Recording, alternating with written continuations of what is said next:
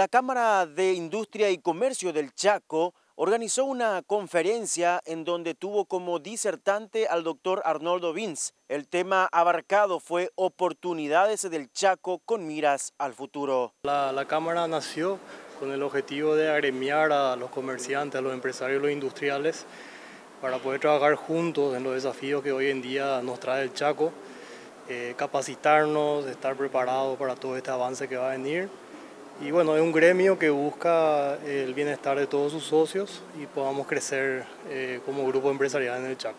Y bueno, las oportunidades que plantea precisamente el futuro eh, para el Chaco paraguayo, en varios aspectos, en aspecto de infraestructura, de ganadería, agricultura, industria y comercio, en los aspectos ambientales, eh, turísticos, el Chaco paraguayo está llamado a ser una gran potencia y va a depender mucho de los actores locales.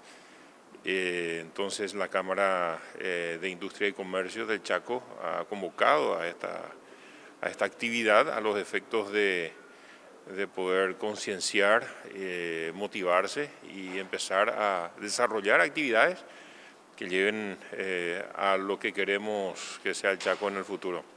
Y algunos desafíos, yo diría, son eh, el tema climático. Eh, un desafío grande es solucionar el tema del agua potable en el Chaco paraguayo, eh, mejor distribución de la energía eléctrica, más conectividad de todo tiempo, llámese rutas, caminos de todo tiempo.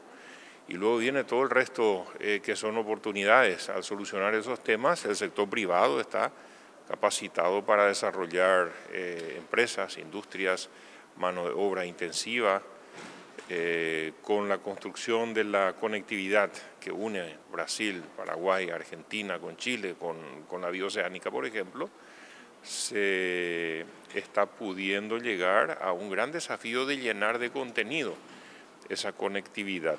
No solamente eh, un lugar de paso para los productos de otros países, también eso, pero eh, el valor principal vamos a descubrir cuando nosotros llenamos de contenido esa conectividad.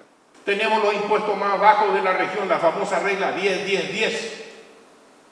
35% promedio de impuestos y contribuciones. O sea, estos son los números macro de Paraguay para decir que este país lo dan vuelta los investigadores, los estudiosos y no, no saben cómo, a pesar de que Tuvimos diferentes signos políticos o grupos internos en este último periodo, pero se mantiene siendo un país atractivo.